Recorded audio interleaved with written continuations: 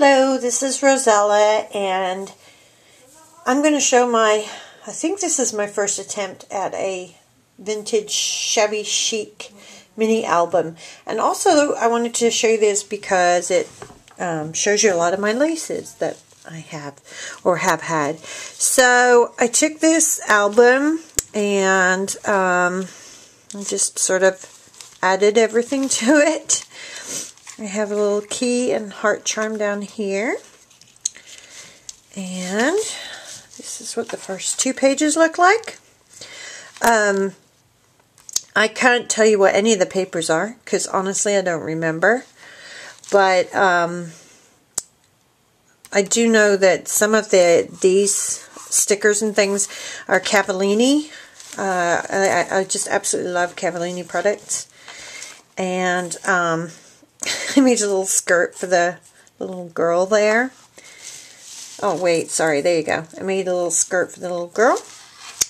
Um, this is one of the stick pins. I think that is one I made, but I'm not certain. I was in a stick pin swap a while back, so any of them could actually be from somebody else. And then the back opens up to this.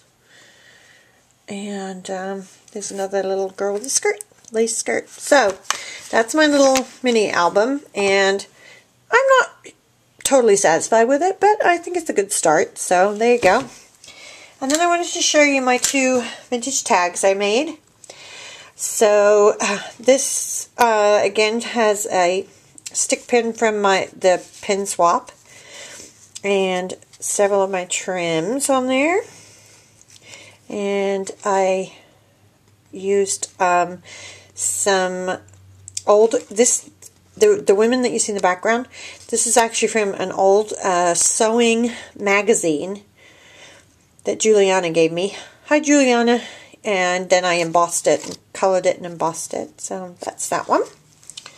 And then I'm kind of pleased with this one. I do like this one. So I have a beaded trim on the bottom there, several different laces.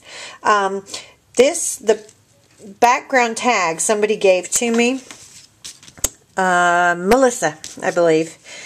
Um, and then I added the um, dress for him and made the lace dress and the sort of corset thing. And I think that came out really cute. So, there you go that's what I've been up to when I'm crafting. Bye for now.